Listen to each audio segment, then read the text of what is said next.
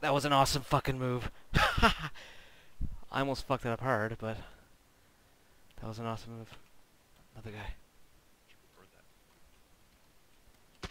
I'm dead.